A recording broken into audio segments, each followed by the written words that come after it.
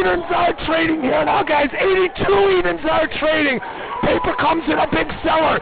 81 evens are trading here now, guys. 79. What is going on traders?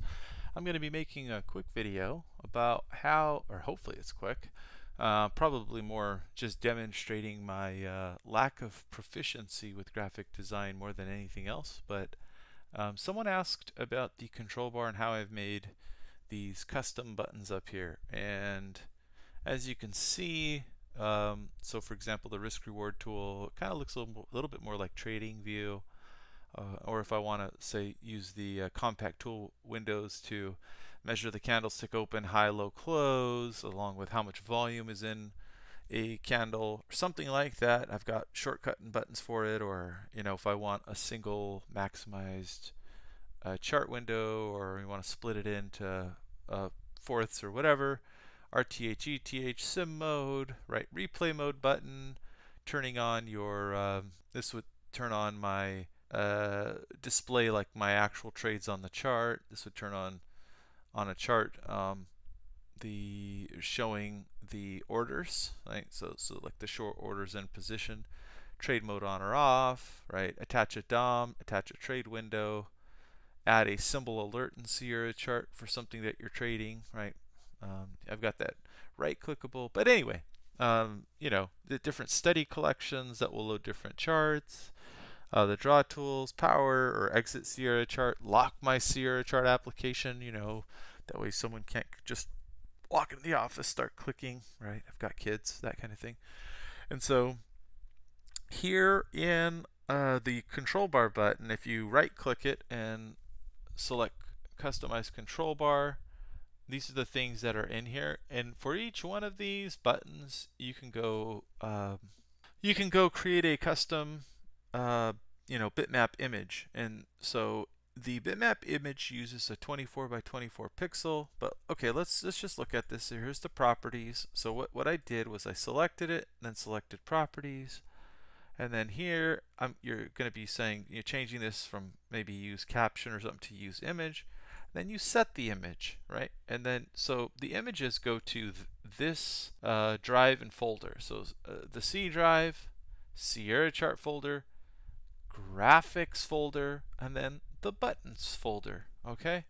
And if you have graphics that are BMPs or bitmaps that are 24 by 24, um, you, you can make any uh, bitmap picture or graphic that is, as long as it's 24 by 24 again, you can make anything you want and display it as a custom looking button.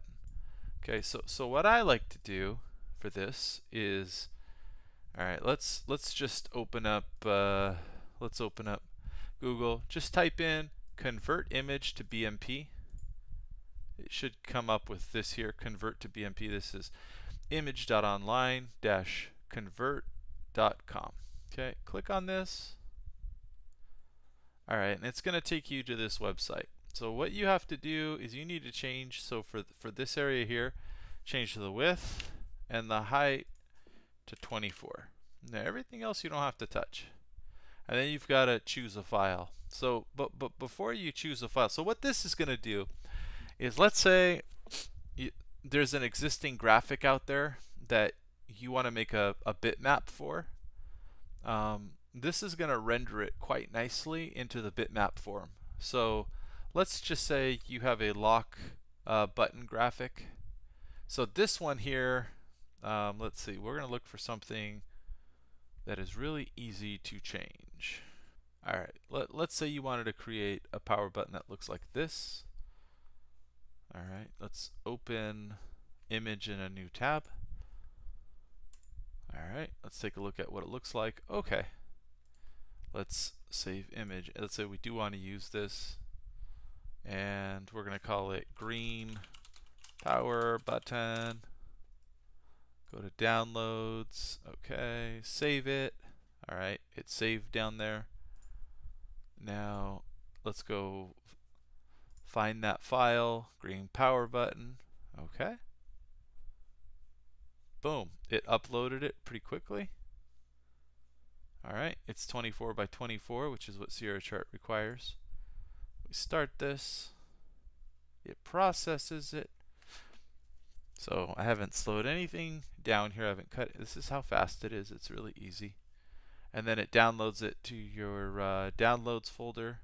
And so all you got to do now, it's done, is you've got to go in here to, let's see, we'll show it in the folder. Here's the green power button. It's a bitmap file. So that's the one we originally downloaded. That was a PNG. And then we rendered this one, the green power button. So let's right click it and open with paint. So there's the button and that's what it looks like. That's pretty good. That looks nice. So let's view it. Let's zoom in. You notice how around the edges it um it has this white. Well, that white is not a transparent background. The transparent background in Sierra chart is 192. So you need to go in and you need to find I don't know a color and then edit it so this is 195. Let's drag this down, see if we can get 192. All right, worked. We got 192. And then let's use this fill in. But oh. Oh, that's interesting. A lot of shading differences here. Right? Because this is fill area with color. That's okay. We'll just, I guess, do this anything that's lighter. Oops. We'll get rid of. God, I can't believe I'm doing a graphic. Essentially, what feels like graphic design or how to make little pictures, bitmaps. Is that really what's happening today? Jeez. Almost done. One reason not to do too much work and just hold down on the left click button on your mouse is when you undo it, boy, all the work gets undone. So, what a pain. All right, we're getting close here. Now we got to test to see if this button looks okay. It's not really centered, is it? So maybe pick a different um, button to render, that one that's centered and everything like that. But okay, now we at least have the transparent background color for Sierra chart, at least most of the places we do. Let's see. There's that one. Oh, you know what? We'll undo that one. That one's probably going to look good there. Okay, go to view, zoom out again. Let's see if it looks decent. Yeah, that looks decent. All right. So then go save as a bitmap picture. Go into your operating system, C folder, C drive, Sierra chart, graphics, buttons. We'll just use this. Button 3 green. We'll call it green power button. We'll save over this because um, okay, we'll save it. And then let's see, let's get out of here. And now let's go, let's just get out of all this. Now let's go to this customize control um, bar, right click menu. Let's go into Sierra chart, exit button, go to the properties, set the image, what did we call it? Button 3. Green power button. There you go. Go ahead and open it. Click OK. Click OK again. Hey, there you go. We have a custom button in there now. So you see how easy that is? Um, takes a few steps, but it's you know it's kind of fun to play with this sort of thing and and uh, you know kind of customize some of these buttons to look like the thing that it actually does, right? For you, based on how you have these configured, right?